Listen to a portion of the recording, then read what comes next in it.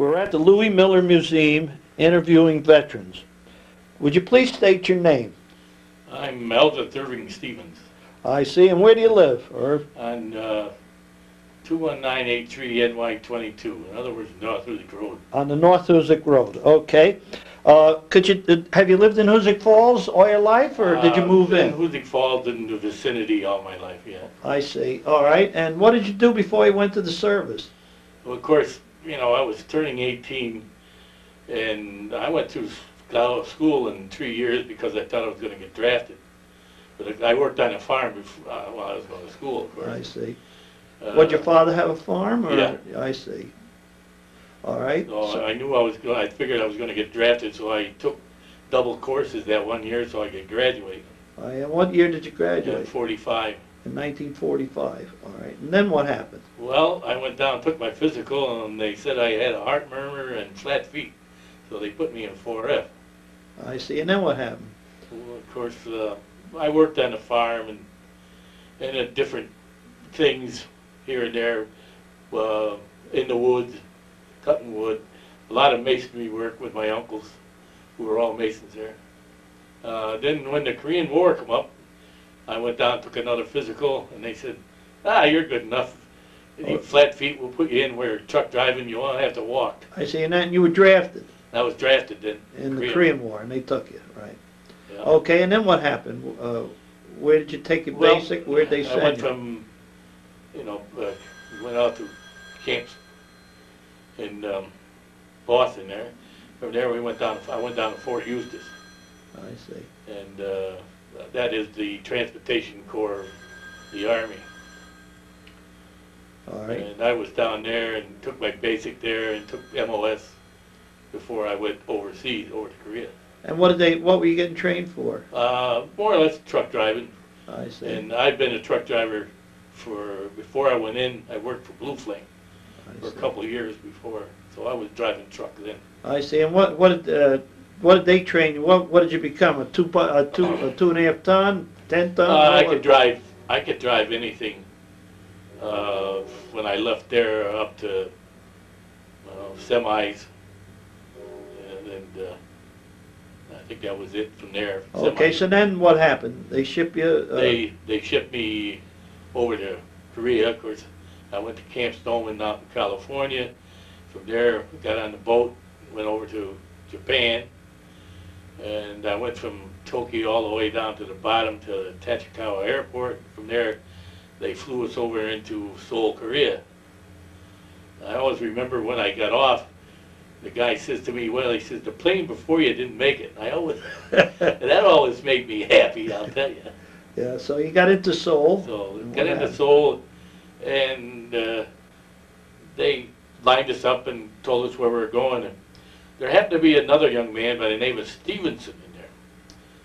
So they were telling us where we're going, and somebody they called my name out, and I said, "Yeah, okay." He says, "You're going down to Suwon." So I went to Suwon, and two days later they called up and said, "You're in the wrong place. You're supposed to be back up here in Seoul." So I went back up, and young Stevenson says, "I've been answering for you." He says, "Ever since you left." so they sent me over on K K sixteen in Seoul Airport. Uh, it was the Air Force engineers, and uh, I started driving truck over there, which was uh, for heavy equipment, and our our truck was a tank retriever with uh, a low boy in back of it. We didn't have the regular body for it, so we had to have a, a low boy in back of that. And I drove that for six months, and then I went on guard duty.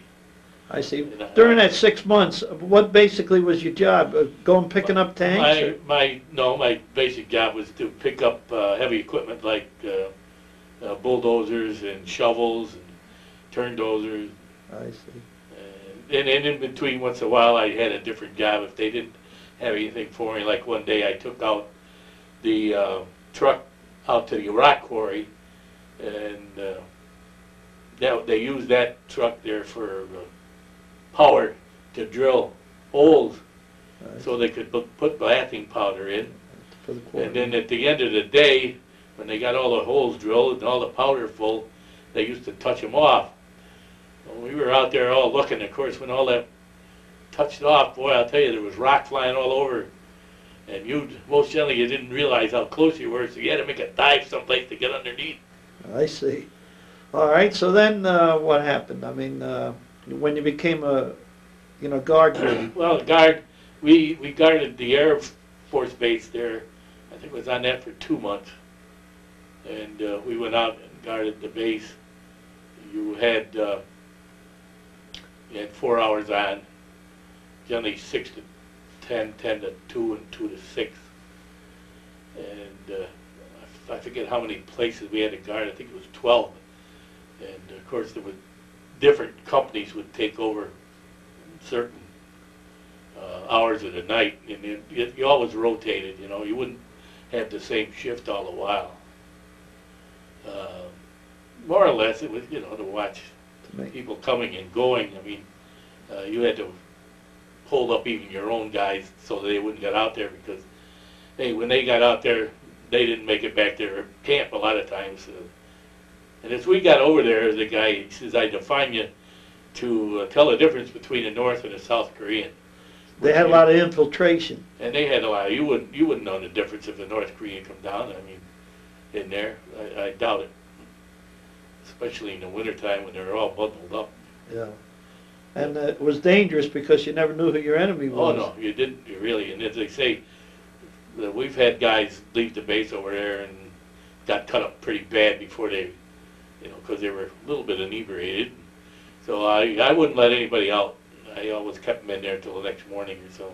If I was on that certain, On that shift. where they went out through. I see. All right, uh, tell us a little more about Korea. What you, you know, you. I remember we talked last Yeah, week or so. well, I mean, see, being on guard duty, of course, you, uh, well, if you got through with the first section and you went to sleep, you could get up in the morning.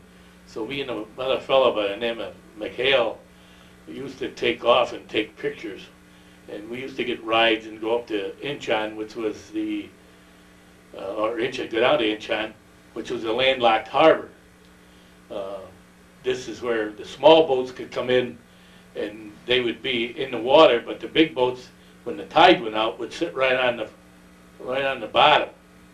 Because the tide would go out for about a mile and a half. And, uh, as I say, uh, when I was driving tank retriever there, I used to go down to Low Boys and pick up all the old oil barrels because we used them to put in back of, uh, up in Kimpo, in fact, of the uh, jets as barriers. They put these oil, oil barrels full of sand and then the sandbags in back of them. Uh, that's what they use to keep the jets in, more or less stationed. And I, I used, was up there and used to watch the jets come in. Well, in fact, our outfit went up there and, uh, this is the rock quarry, uh, they uh, extended the airfield, another half a mile because it wasn't quite long enough. I mean, the guys coming in with the jets there were just about able to stop at the end of the runway, so they extended it another half mile. They took down a whole mountain. They had these bulldozers and earth movers and everything, and they just leveled one mountain right down Yeah. so they could uh, extend that airport. I see. But as they say, I was up there and I watched them taking all the ammunition out of the, the guns and everything, the ship or the airplanes. The, the first thing they come in, and this is what they did, is take all the ammunition out. Because if they didn't, sometimes they misfired, and you didn't want to be around them. I see. They, uh, see, that, that was, uh, when I was down and, uh, driving tank retriever. Uh, then it got so when I was on guard duty, uh, we used to have to go down and guard, uh, heavy equipment. Believe it or not, I think there was, if there was four Koreans with an A-frame, they could carry away one of them uh, bulldozers. Honest, the, the, the load that they could carry on an A-frame, you can't believe. Uh, Then we used to have to go up to Kimpo and guard heavy equipment up there. And on our base, of course, we guarded our base. Uh, the one, our company was Company C. Uh, More or less, it was the uh, young kids uh, would come in and try to get the food. And I don't, I've, ca- I caught one kid twice, put him in the orphanage, but he never stayed there long. He was right back out again. And, uh, we had a young kid that used to stay down at, uh, one of our guard stations and he'd eat candy bars and keep the fires going and, uh, that's how some, most of the kids were over there. Well, they didn't have too much to eat. So they, no, they didn't have too much to eat. Uh, of course, we had houseboys, they used to come in and clean up all our tents, of course, we stayed in tents, which is a lot better than what a lot of these guys had to stay in over there. Now, most of the Korean people, I've, uh, veterans I've talked to, said it was really cold there in the in the winter. We, we had, at that one time when I was over there, I don't think it got above zero all week. It was cold. It froze ice right next to our stove, so that's how cold. We had these little stoves, of course, we turned them all down in the, in the, uh, night, and in the daytime, we turned them up a little bit to keep the heat. We had oil. Uh, one fellow in the, in the company, that's all he did is around to keep oil barrels there so we could have heat in the tent. I see. Uh, It was, it was cold over there, and it didn't only snow a couple of times, really. But it, it, it was cold. I see. Okay, so you did this guard duty, and then what happened? Uh, Well, I mean, I did guard duty until I got ready to come home. I see. And when was that? You That know, was about- in, uh, October.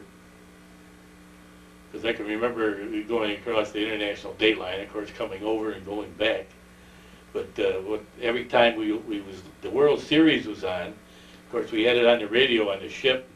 Of course, every day, uh, it kept getting closer and closer, cause you kept picking up an hour or so every day on the ship. yeah. Uh, and then, of course, you pick up a whole day there in the international date. Right. Right. Yeah, that was something there. Uh, they they had a uh, uh, rescue where they dropped a can overboard and they lowered the boat down to get it. One guy says it's taking too long. He says if you fall over, forget it. So, I mean, but uh, going over, we ran into a typhoon, and uh, the propellers were coming right up out of the water. In fact, they had to shut one propeller down because it was getting loose. It was shaking the whole ship. Uh, so they had to shut that one down until the, it got all over with. We more or less limped into port, uh, which was quite a thing after we got into to Yokohama and see all how busy that port was with these little boats going in and out and the big boats and uh, there were boats coming in to take the garbage off. There was boats coming in to refuel the ships. It was it was something to, to Yeah. see all that. All right, so you're on your way home, and you came home, and you, So what I came happened? home and of course we got into Pier 96 in Seattle. And then from there I flew into uh, uh, New York and I got stationed at uh, Camp Kilmer. Uh, then, then from there, I was down there a week and they transferred me to Governor's Island. And uh, Governor's Island, yeah, I, I worked in the parts room in, you know, a motor pool. I took care of all the parts. Oh, I see. I worked there for two, two months and then I got transferred out, All right. you know. To get discharged, or So did did you go? discharge, yeah. All right. And then what happened after you discharged? And after I was discharged, I went back to work for, for Blue Flame. And I worked for them for a while, and then I worked for Millington Ford for a year, and then went back, worked for Blue Flame for another couple of years, and then took the test and went in the post office.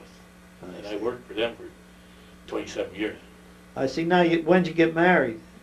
Uh, I was married in nineteen sixty-three. I see. And how many children did you uh, have? we got three children, Three. uh, two gir- girls and a boy. and what are they doing there? And uh, one girl is working for Corning Industries as a uh, purchasing agent. My son works for the post office, and my younger daughter works for Kaiser Permanente. I see. Well, is there anything else you'd like to tell us about your service or about Hoosick Falls? Or I know you're active. Uh, you help us in the museum, and you're Because as I say, me and, me and uh, McHale used to travel all over, and I've got a lot of pictures of, of uh, different places in, in Korea. Uh, we went up to the radio outfit that took care of all the radios for the air, airport. We used to have to, as I say, uh, engineers, we went up and they had to uh, widen the road out. I mean, when you look down over the side, hey, it was a long ways down. There wasn't much between it, so they they decided they better widen the road out a little bit. But, uh, I know that there, and then the, as I say, we used to have to go to Kimpo a lot, and uh, you could at night you could watch the more or less like the fireworks, but they, they were shooting anti-aircraft guns off. And uh, when they talk about bed check Charlie, we used to have bed check Charlie home. Uh, he'd come in with a monoplane and maybe uh, drop a couple of bombs. But the guys before me said that one Christmas he'd come over and tossed out a hand grenade. Yeah. I don't know. Who was he? What was that about? Well, listen, a monoplane. And of course, the jets were too fast for the monoplane. So the guy in the Navy, he flew a monoplane and he shot down five of them. I think he became an ace because he shot down five of them. Right. See, they're, the jets, they were just too fast. By the time they see them, they yeah, never. but what did, what did the Koreans have these monoplanes and they They had the monoplanes, yeah. I mean, old old old planes. The, uh, the old single engine and, and, uh, they did, at one time they dropped two five hundred pound bombs across the river, but luckily for us, they didn't go off. I mean, we were still a half mile away maybe, yeah, right. because we were right outside the city of Seoul, where the eight air base was. I see. Okay. So, is if there's anything else you want to say, now's the time to say it. It's your tape. Uh, no, I mean, Anything about Hoosick Falls, or you've been real active in Hoosick Falls at the church, and you've been active Yeah. in the Masons, and I've been in the Masons in the church and, and the Historical Society. Yeah, Right. it's kept pretty, pretty busy here.